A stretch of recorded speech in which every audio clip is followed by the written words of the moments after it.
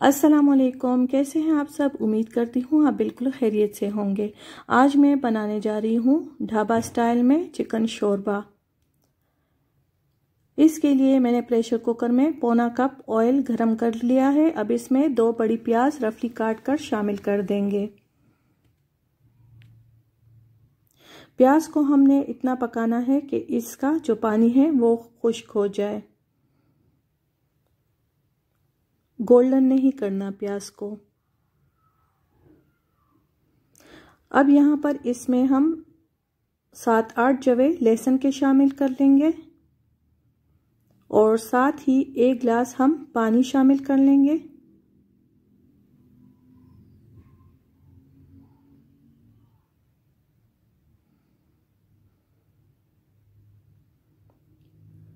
Pressure cooker का ढक्कन हम बंद कर लेंगे और इसको तीन चार मिनट के लिए हम प्रेशर दे देंगे ताकि जो प्याज है हमारी वो बिल्कुल सॉफ्ट हो जाए।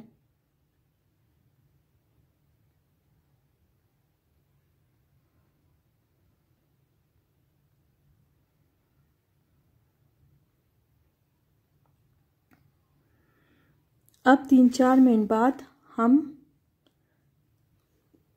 कवर खोल लेंगे और प्याज को इतना पकाएँगे कि इससे ऑयल अलग हो जाए और प्याज पेस्ट की शक्ल में आ जाए।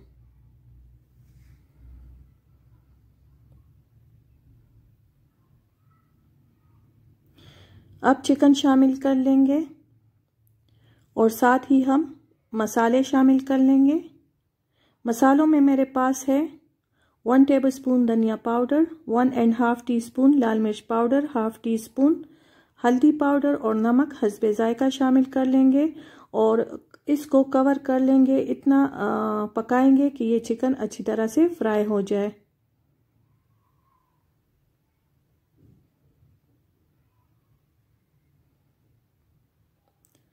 चिकन को चार पाँच मिनट भूनने के बाद हम इसमें दही शामिल कर लेंगे। हाफ़ कप मेरे पास फेंटी हुई दही है, ये इसमें शामिल कर लेंगे। इसको मिक्स कर लेंगे और इतना पकाएँगे कि दही का पानी खुश्क हो जाए। दही का पानी खुश्क हो चुका है। अब इसमें हम पानी शामिल कर लेंगे जितना हमें शोरबा चाहिए है। यहाँ पर मैंने एक गिलास पानी शामिल किया है। मुझे इतना ही शोरबा चाहिए। अगर आपको ज़्यादा चाहिए तो आप ज़्यादा पानी शामिल कर लें। वन टीस्पून गरम मसाला पाउडर शामिल कर लेंगे।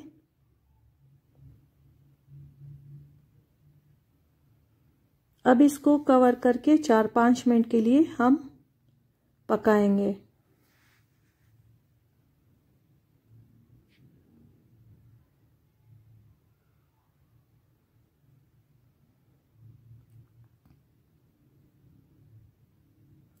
चार पाँच मिनट बाद इसमें हरा धनिया चॉप्ड शामिल कर लेंगे। धनिया इसमें ज़्यादा जाता है। अब इसको मिक्स करके मज़ीद एक मिनट के लिए बिल्कुल हल्की आँच पर, दम वाली आँच पर हम पकाएँगे।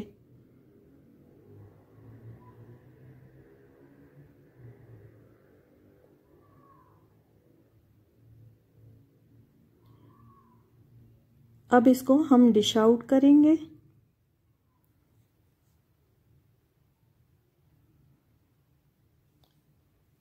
बहुत ही मज़ेदार चिकन शोरबा तैयार है हमारा। बहुत मज़े का बना है। प्लीज़ वीडियो को फुल वॉच करके आप लाइक किया करें और कमेंट किया करें। कमेंट से हमारी हौसला अफजाई होती है। बेल के आइकन को प्रेस कीजिए ताकि मेरी हर नई आने वाली वीडियो सबसे पहले आपको मिल सके। फ्रेंड्स के साथ शेयर करें। दुआओं में याद रखें। थैंक यू अल्लाह हाफिज़।